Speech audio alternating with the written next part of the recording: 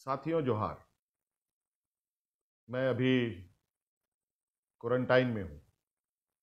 सुनकर थोड़ा आश्चर्य लग रहा होगा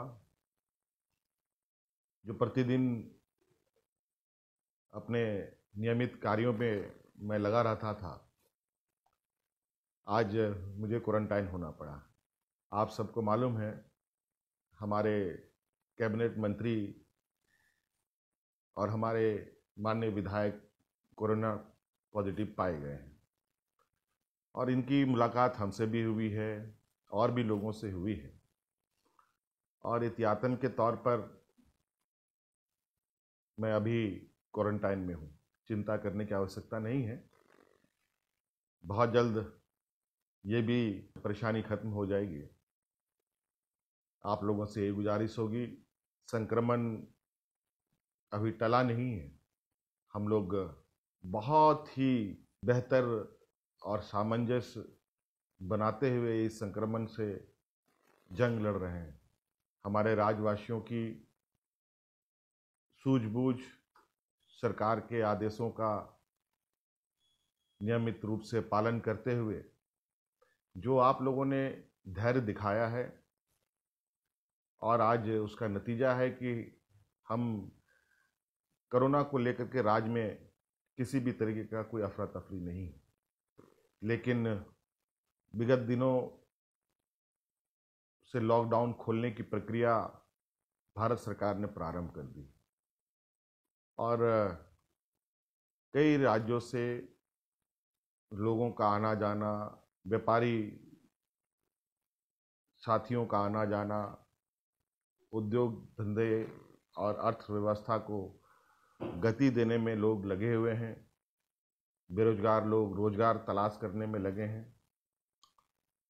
इस संक्रमण में भी अपनी जान जोखिम कर देश को, राज्य को मजबूती देने में लगे हैं। मैं बहुत आज की इस परिस्थिति से अवगत हूँ, बहुत अच्छी तरीके से इस हालात को समझ रहा हूँ। कई चुनौतियों के साथ हम लोग आगे बढ़ रहे हैं। और मुझे लग रहा है कि जो चुनौती मेरे लिए है, इस राज्य के बतौर मुख्यमंत्री होने के वजह से,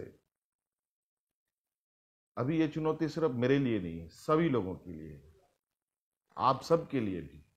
व्यक्तिगत रूप से यह चुनौती है। आज इस संक्रमण का कोई इलाज नहीं है।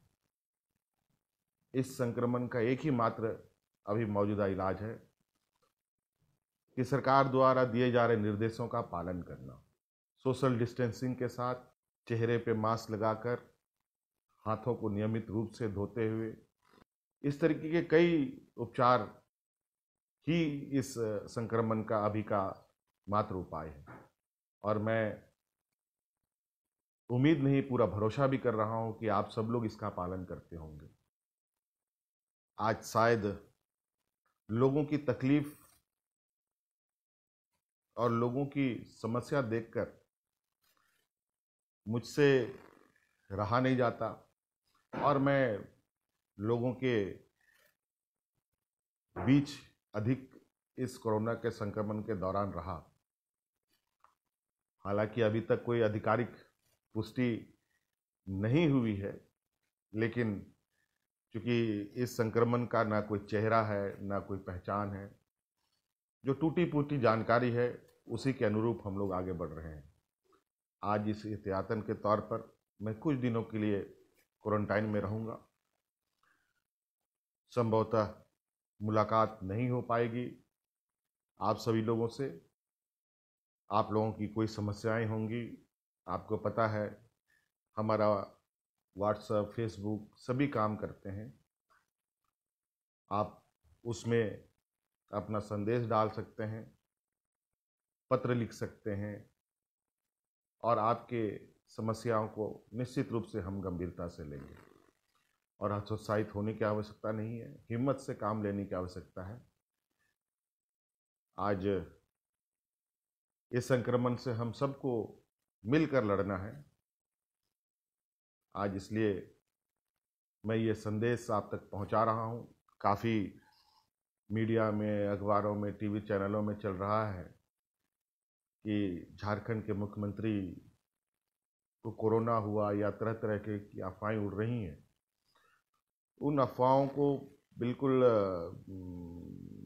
और गति ना मिले, इसलिए मुझे ये संदेश आपके बीच में देना पड़ा कि ऐसे घबराने की आवश्यकता नहीं है और